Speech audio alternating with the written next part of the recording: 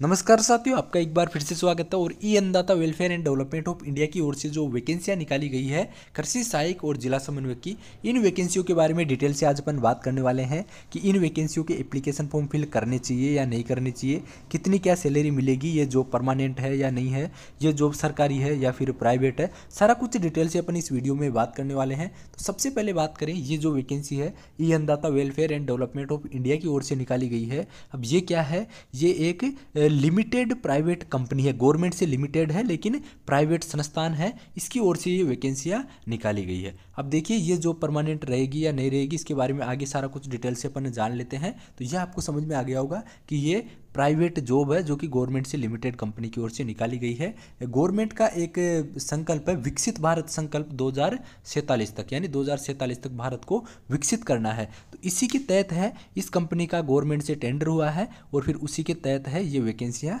निकाल रही है। तो यहाँ पे देखिए, जो वैकेंसियाँ है, इनके एप्लीकेशन फॉर्म की फ़ीस की बात करें तो कृषि सहायक इसके एप्लीकेशन फॉर्म की फ़ीस है नौ सौ नब्बे रुपये कृषि सहायक प्रत्येक ग्राम पंचायत स्तर पर होगा। इसके अलावा जिला समन्वय की बात करें तो उन्नीस सौ नब्बे रुपये है। इसके एप्लीकेशन फॉर्म की फ़ीस है, जो कि प्रत्येक ज़िले में एक होगा, या फिर है, यदि बड़ा डिस्ट्रिक्ट है तो उसमें दो भी हो सकता है। फिर देखिए नेक्स्ट यहाँ पे बताया है कि यदि आपका चयन हो जाता है इन वैकेंसियों में तो आपके पास क्या होगा? चयन होने के पश्चात आपके पास computer laptop web camera scanner व इंटरनेट आदि की आपके पास व्यवस्था होनी चाहिए। यदि नहीं है तो ये संस्था भी आपको प्रोवाइड करवा देगी, लेकिन इनका चार्ज लेगी। देखिए, यहाँ पे बताया है कि ये अन्नदाता केयर सेंटर यानी कृषि सहायक व जिला समन्वयक है, इनके लिए आपको अलग अलग एप्लीकेशन फॉर्म है वो फिल करना होगा। यानी टोटल दो पोस्ट है, एक तो है कृषि सहायक की और एक जिला समन्वयक की। तो इन दोनों पोस्ट का यदि आप एप्लीकेशन फॉर्म फिल करना चाहते हैं तो आपको अलग अलग एप्लीकेशन फॉर्म है, वो फिल करना पड़ेगा। कृषि सहायक इसकी योग्यता की बात करें तो बारहवीं आप पास कर रखे किसी भी सब्जेक्ट से एग्रीकल्चर बायोलॉजी या फिर आर्ट्स से तो इसका एप्लीकेशन फॉर्म फिल कर सकते हैं।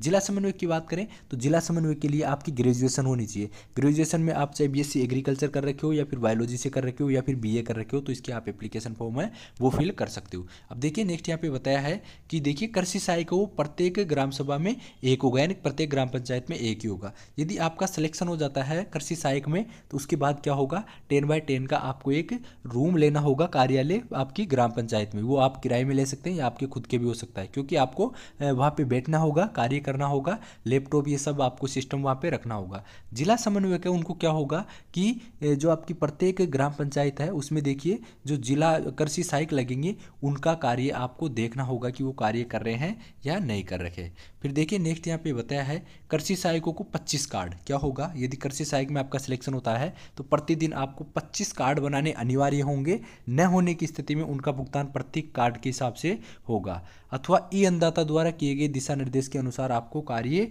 करना होगा और जो कार्ड आप बनाएँगे, उनको डाक के थ्रू किसानों तक आपको प्रेषित कर दिया जाएगा। देखिए, फिर बताया, कृषि सहायक को कार्ड बनाने के अतिरिक्त किसानों को गौरवान्वित कराने के उद्देश्य से संचालित सभी योजनाओं को क्रियान्वयन पूरे ब्लॉक में कराना होगा। यानी किसानों को गौरवान्वित महसूस कराने के लिए क्या होगा? कोई भी योजना है तो उसको किसानों तक पहुंचवाना होगा। नेक्स्ट यहाँ पे बताया है, कृषि सहायक व जिला समन्वयक का चयन। विकसित कार्यक्रम दो हज़ार सैंतालीस के अंतर्गत किसानों को गौरवान्वित महसूस कराने के लिए किया जा रहा है। अभ्यर्थियों को स्वप्रमाणित फ़ोटो व हस्ताक्षर संलग्न करना अनिवार्य होगा। अभ्यर्थियों का चयन मेरिट व साक्षात्कार के आधार पर किया जाएगा। पहले मेरिट तैयार होगी, उसके बाद फिर इंटरव्यू होगा और उसी से आपका सिलेक्शन होगा। फिर यहाँ पे बताया है, देखिए नेक्स्ट कि यदि कृषि सहायक में आपका सिलेक्शन होता है तो ग्राम प्रधान या फिर सरपंच है, उसके द्वारा चरित्र प्रमाण पत्र आपको बनाना होगा। इसके बाद देखिए, यदि जिला समन्वयक में आपका सिलेक्शन होता है तो पुलिस वेरिफिकेशन आपको करवाना होगा तथा नोटेरी की कॉपी आपको देनी होगी। नेक्स्ट यहाँ पे बताया है, अभ्यर्थियों को आधार कार्ड, पैन कार्ड व समस्त शैक्षणिक प्रमाण पत्र की सौ प्रमाणित प्रतिलिपि आवश्यकता पड़ने पर देनी होगी। इस पूरे प्रक्रिया में किसी भी तरह का बदलाव है ई अन्नदाता कर सकता है। इसमें शामिल होने वाले किसी भी प्रकार का नुकसान अथवा सत्य करते हैं तो ई अन्नदाता जिम्मेदार नहीं होगा। नेक्स्ट यहाँ पे बताया है केयर सेंटर हेड यानी कृषि सहायक को जिला समन्वय के आवेदन हेतु है। आपका देखिए, सत्यापन है, एक सितंबर से पंद्रह सितंबर तक किया जाएगा और सोलह सितंबर से तीस सितंबर तक चयनित अभ्यर्थियों का सत्यापन होगा। आयु की बात करें तो यहाँ पे देखिए कृषि सहायक व जिला समन्वयक दोनों के लिए अट्ठारह से पैंतालीस साल की स्टूडेंट है, वो इसमें अप्लाई कर सकते हैं। अभ्यर्थियों को प्रथम ग्यारह महीने के लिए नियुक्त किया जाएगा। अब देखिए, ये जो जॉब है, वो कब तक रहेगी? तो पहले क्या होगा, आपको ग्यारह महीने के लिए ये जॉब मिलेगी। उसके बाद क्या होगा, इसके कार्य प्रगति को देखकर दो तक प्रतिवर्ष ग्यारह माह के लिए उनका कार्य विस्तार कर किया जाता रहेगा। यानी पहले तो आपको केवल ग्यारह मंथ के लिए ये जॉब मिलेगी। उसके बाद यदि आप ठीक से कार्य करते हो तो ग्यारह ग्यारह महीने करके आपकी जॉब है, वो बढ़ती जाएगी और दो तक आपकी ये जॉब है, वो लग सकती है। यदि कोई अभ्यर्थी एनदाता के किसी पदाधिकारी व कर्मचारी के साथ दुर्व्यवहार करता है तो उसको निलंबित किया जा सकता है। नेक्स्ट देखिए यहाँ पे बताया है, जिला समन्वयक को क्या होगा कि जनपद स्तर पर केयर सेंटर यानी कृषि सहायकों का मार्गदर्शन करना होगा। इसके साथ ही ई अन्नदाता द्वारा निर्धारित कार्यों को भी पूर्ण करना होगा, जिसका भुगतान अतिरिक्त किया जाएगा। कृषि सहायक है, कृषि सहायक के बारे में यहाँ पे बताया है कि ग्राम सभा पर किसानों का ई अन्नदाता कार्ड निःशुल्क बनाना होगा और किसानों के घर पर रजिस्ट्रार डाक द्वारा भेजा जाएगा। इसके अतिरिक्त ई अन्नदाता द्वारा निर्धारित कार्यों को भी पूर्ण करना होगा, जिसका भुगतान अलग से दिया जाएगा। चयन प्रक्रिया के लिए, मेरिट व साक्षात्कार के लिए चयनित अभ्यर्थियों को सूचीबद्ध किया जाएगा। एक से पंद्रह अक्टूबर तक चयनित अभ्यर्थियों का इंटरव्यू होगा। इंटरव्यू कब होगा? यदि सिलेक्शन हो जाता है तो एक से पंद्रह अक्टूबर तक। सोलह अक्टूबर से चयनित अभ्यर्थियों के समस्त दस्तावेजों की मूल कॉपी रजिस्टर्ड डॉक से स्वीकार की जाएगी और भौतिक सत्यापन का कार्य किया जाएगा। कृषि सहायक व जिला समन्वय के लिए ई अन्नदाता द्वारा निर्धारित शुल्क के अतिरिक्त कोई अन्य शुल्क देना नहीं होगा। चयन के पश्चात कृषि सहायक का प्रशिक्षण व प्रमाणीकरण लेना अनिवार्य होगा। यानी आपका सिलेक्शन होता है इन दोनों पोस्टों में से किसी भी पोस्ट पे। तो गवर्नमेंट की कुछ संस्थान है, वहाँ से आपको प्रशिक्षण लेना होगा। नेक्स्ट यहाँ पे बताया है आवेदन किए जाने के चयन प्रक्रिया पूर्ण होने तक अन्नदाता को अथवा कार्यालय में किसी भी कर्मचारी, भौतिक मीटिंग अथवा व्यक्तिगत मिलना स्वीकार नहीं किया जाएगा। यहाँ पे ऑफिशियल वेबसाइट बताई है W W E Annadata dot इन यहाँ से आप एप्लीकेशन फॉर्म है, वो फिल कर सकते हैं। ये देखिए ऑफिशियल वेबसाइट है W W dot e Annadata dot in यहाँ से एप्लीकेशन फॉर्म फिल कर सकते हैं। यहाँ पे देखिए हेल्पलाइन नंबर दे रखे अट्ठारह सौ दो सौ आठ बावन चौवन। इन नंबर पे कांटेक्ट करके भी आपको कोई और डाउट कन्फ्यूज़न हो तो वो क्लियर कर सकते हैं। आवेदन फॉर्म भरने का तरीका नीचे संलग्न है, यहाँ पे देखिए डिटेल से दे रखा है, कैसे एप्लीकेशन फॉर्म फिल होगा। तो ये पीडीएफ ले लीजिएगा और इसको आप अच्छे से देख के यदि एप्लीकेशन फॉर्म फिल करना चाहे तो आप कर सकते हैं।